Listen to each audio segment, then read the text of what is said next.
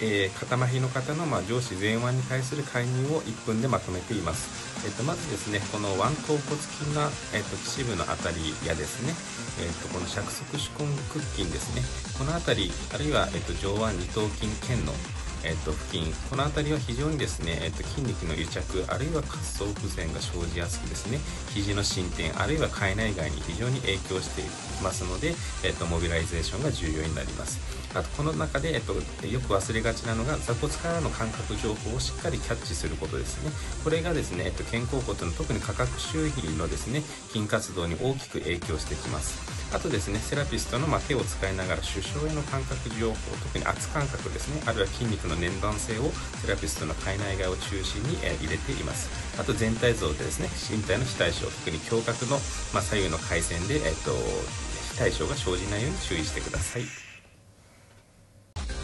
い、えー、こんにちは、え、今日はですね、えーと、右肩麻痺の方の右上肢のリーチにおける骨盤操作についてお伝えします、え、この写真はですね右のですね、えーと、骨盤の方に重心を乗せています。その中で座骨からのですねまず床反力高重力活動をしっかり積み上げられ、え同側の体幹の進展につなげていきます。一方でですねこの体側のですね内腹斜筋であったりですね、えーと、この腰方形筋ですねこの辺りは骨盤を、えーとまあ、機能的なですね、えー、とチルティングあるいは居上につなげていく上で非常に重要です。かつその状態においてですね脊柱の進展ですね。脊柱の進展がない限りは側屈あるいは、えーとですね、回線の運動というのは非常に生まれづらいので、えーと、注意が必要です。あとこのモデルはですね、えっと、大腿骨が安定せず内転に入りやすかったので膝をリファレンスにして右側に乗った時の外側のモーメントを制御しながら股関節の内側への活動も生まれるようにしています。これが、えっと、肩甲骨の後傾プロトラクションに重要と言えます。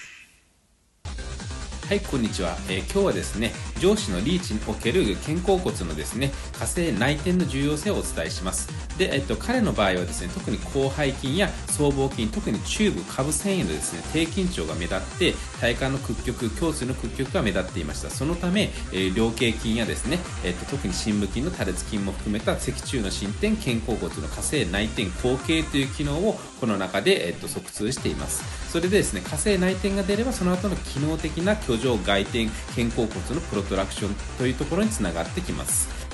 で彼の場合はですね骨盤が後傾方向に崩れやすかったのでセラピストの大腿部で骨盤を安定させて骨盤が安定した中で胸椎の屈曲進展あるいは胸椎を進展させた中で骨盤の後傾前傾を促すことでセレクティブな体幹骨盤機能を目指してリーチにつなげました。以上となります。